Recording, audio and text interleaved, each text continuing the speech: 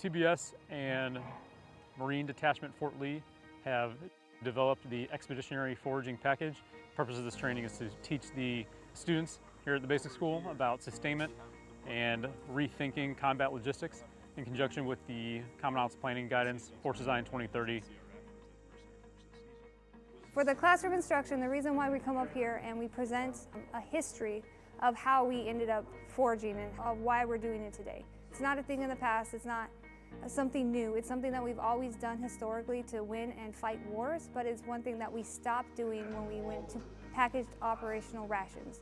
During the individual skills fieldcraft package, we exposed the Marines to butchering fish and pigs. Fish and pigs are just a method by which we teach the students to have a flexible mindset in regards to logistics. They need to consider augmenting their resupply with local resources in order to sustain their force.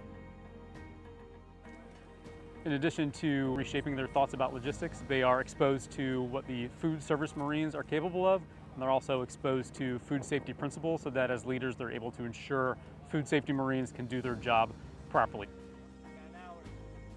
So the food service Marines are showing them how to maximize uh, the various components of the fish and the pigs in order to maximize the resources and the nutrients from those animals. This is really emphasizing a lot of our um, expeditionary advanced-based operation techniques that we'll see surface from our Marines who are operating distributed across large distances. This is giving our Marines an opportunity to become better prepared to teach their Marines in the future how to be self-reliant and how to sustain themselves in various environments.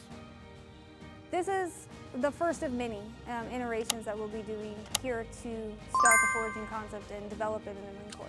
The vision is to sustain the fight in an EABO concept and showcase how we'll be able to do that. As an officer, the capabilities that you have to reach back to and or that you would have at your unit to help you sustain those capabilities.